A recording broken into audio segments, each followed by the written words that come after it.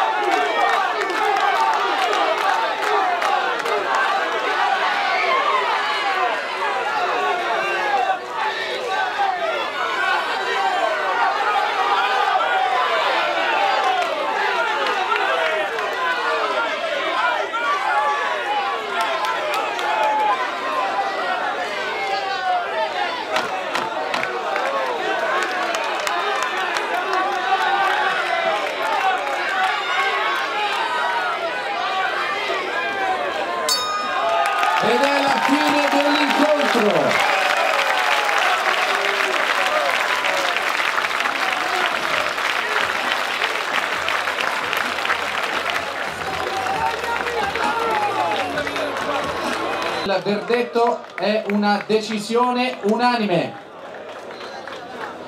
Giudice Di Mario 96 a 95. Giudici Marzuoli e Ramacciotti 96 a 94 per il vincitore dell'incontro che si conferma campione d'Italia dei pesi super welter Emanuele Ruspo della Rosa.